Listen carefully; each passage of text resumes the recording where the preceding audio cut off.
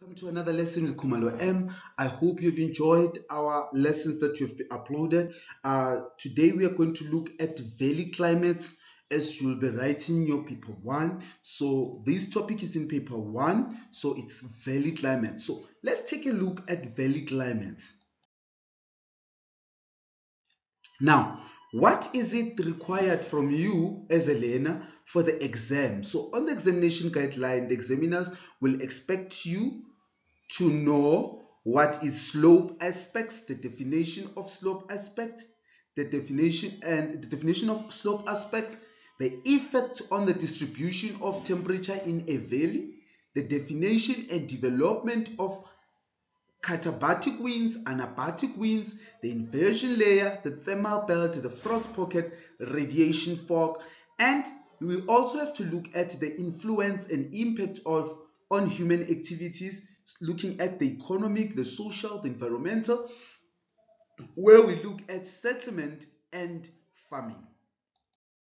Now, there are some there are some definitions that I want we want you to know here in Gauteng grade 12. It will be the anabatic winds. When we talk about anabatic winds, we talk about a local wind which blows up the length of the valley during the day because of rising air. So the anabatic winds, those are winds that blow up the valley slope during the day. And then downslope wind, we talk about local wind which blow down the valley the sides of the valley during the night. Those are katabatic winds. Now, frost pocket, we talk about an area of cold air reaching a dew point temperature below freezing at the bottom of the valley. This may occur on clear, calm winter evenings or winter nights. We also go back to katabatic winds where we say katabatic winds we also look at katabatic winds where we talk about local winds which blow down the slope of the valley during the night because of cold subsiding air. So that's katabatic winds. We talk about microclimate. It's a climate of a small area that is different to the climate of its surrounding. Three factors contribute to the valley microclimates. And then we look at radiation fog. We have to understand what radiation fog is. Radiation fog, we are talking, fog is that form of night under clear calm condition. Fog is caused by condensation in the air that has cooled due to dew point temperature as a result of loss of heat through terrestrial radiation. Now, radiation fog is more like mist. So that is what we are talking about. Then we've got a shadow zone. A shadow zone, grade 12, will be the patch of the valley or slope that does not receive any sunlight. We call that a shadow zone. A slope aspect refers to the direction to which a slope faces. So a direction to which a face slope uh, a, slope faces is known as slope aspect. Then we've got temperature inversion. Temperature inversion is an increase of temperature with altitude rather than the usual the, the usual decrease and then we've got thermal belt the thermal belt grade 12 it is the la warm layer of air midway up the valley with cold air below as a result of inversion of temperature and then lastly we talk about upslope winds yes we know that our upslope winds are the anabatic winds because they blow up the valley slope during the day. So downward slope winds, they are katabatic winds. Upslope winds, they are anabatic winds. Now, I want us to look at the slope aspect grade 12. Now, the slope aspect, now as we have defined that it is the direction in which the slope faces in relation to the sun. Now, we have the northern hemisphere and the southern hemisphere. So it differs we say in the northern hemisphere, in the southern hemisphere, the north-facing slopes they receive direct sunlight, and in the southern hemisphere, the north-facing slopes are receiving direct sunlight, while in the northern hemisphere, the south-facing slopes are receiving direct sunlight. Now, let's look at the weather associated with the southern hemisphere and slope aspect. Now, north-facing slope, the north-facing slopes are hot. Guys, now there is a confusion when it comes to the south-facing and the north-facing. So I want you to take it like this, grade 12. Let's say here I've got Khumalo here and I've got Mr. Geography here. Now, Mr. Geography here, Khumalo here. So if I'm going to say a slope that is facing Khumalo, it will be the Mr. Geography side. And if I'm asking now the slope that is facing Mr. Geography, Mr. Geography, that will be Khumalo, uh, uh, Khumalo, where Khumalo is. So it's actually the opposite side. Now, the north facing slope will be the southern side. The south facing slope will be the northern side. So it's just an opposite of one another. Now, the north facing slopes are hot, sunny, and dry in the southern hemisphere. They receive more direct sunlight. Smaller surface area is heated, thus is warmer. Soils are warmer as they are in the sunny zone. The farmers have to select a slope which is best suitable for the certain types of crops. So it's very important because the farmers have to look, look for a proper slope where they can uh, plant their crops so that they can grow. Warmer part of the valley is called the thermal belt. So the warmer part of the valley is called the thermal belt. The effect of aspect is greater in the in wind in the winter and places further from the equator. So the effect, which means the the consequences of those uh, climatological questions, uh, uh, uh climatological uh, phenomena, they are more intense in winter. And then in the south-facing slope, now the south-facing slopes are cooler, shady, and retain moist. Soils are cooler on the south-facing slope as they are in the shadow zone. The area is shadow zone on the south-facing slope are, are heated only by reflection. So they only receive sunlight through the process of reflection. And then we look at slope aspect, we look at the orientation of the slope, the impact change during the winter and the summer season because of migration of the pressure systems because remember pressure systems they follow what they follow the ITCZ migration.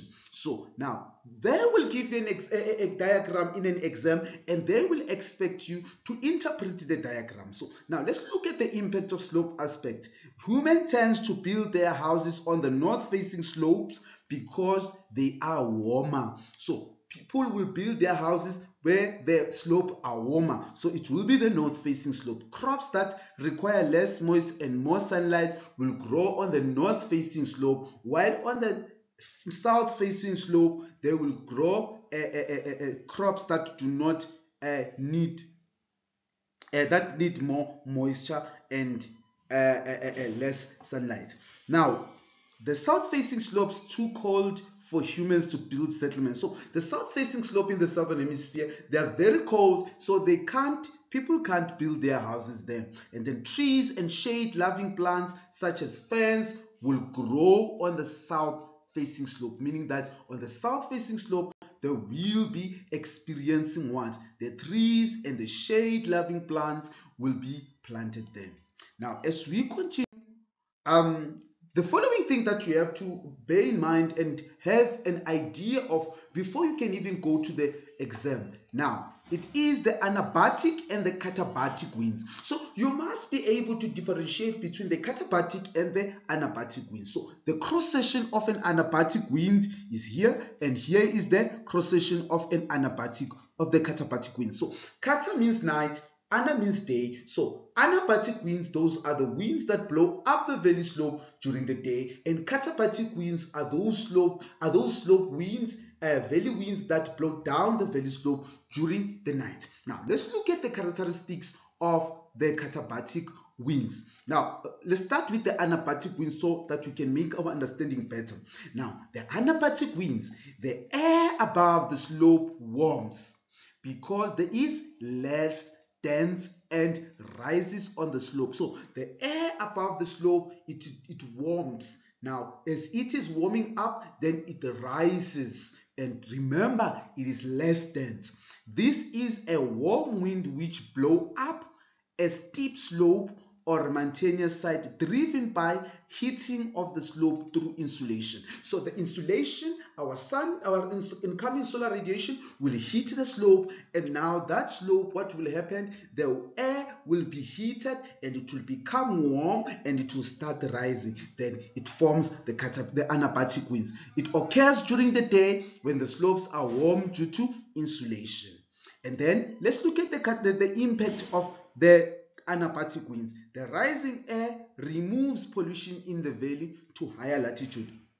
So now, 12, you have to understand that now, as this air is, uh, is, is, rising above the valley, now it's going to remove the pollution that is found within the valley. Then katabatic winds, uh, those are the winds that blow down the valley slope at night usually in the diagram in the exam they're going to give you a picture.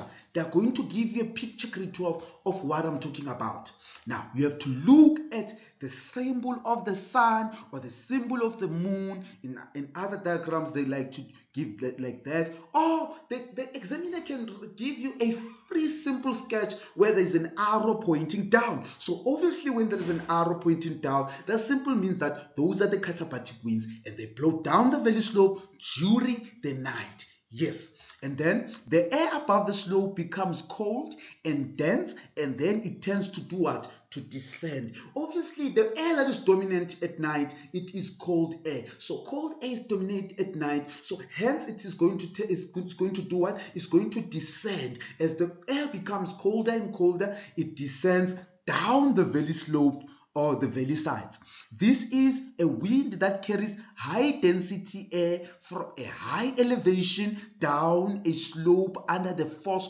of gravity. What is force of gravity? That air that brings everything to come down. Now, it occurs at night when the slopes cool down due to terrestrial radiation. So both of them, they, they form due to, to terrestrial radiation. But now, during the day, terrestrial radiation causes air to to move up. So our terrestrial radiation, our air is blowing up the valley slope. It is rising because it is warm. And then at night, our cold air is dense, so it blows down the valley slope. Now, what are the impacts of that? Is that the descending air is cold and captures the pollution on the valley slope, which can result in the development of smoke or frost. So the Katabatic winds, they can give us frog, uh, uh, frost or fog please not frog but frost frost or fog or smog so that will come as a result of the katabatic winds now Furthermore, grade 12,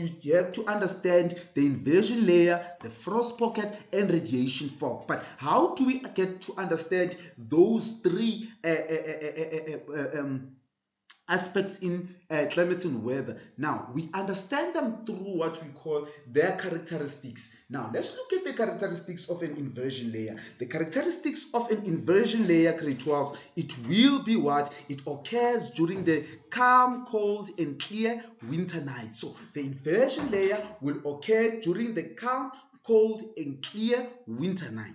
Secondly, the characteristic of inversion layer, we know that when cold air drains down the valley slopes and collects at the valley floor, then the inversion layer is going to form. Warm air is displaced upward to, the, to form an inversion layer in the middle valley. So in the mid valley, this air, warm air is going to be displaced upward and then it's going to be, it's going to form the inversion layer.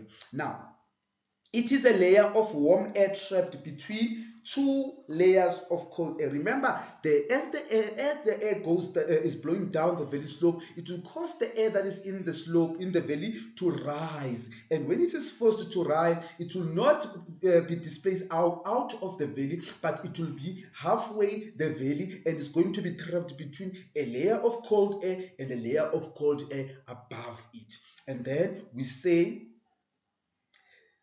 now, we say it is a layer of warm air trapped between two layers of cold air and results in the development of the thermal belt.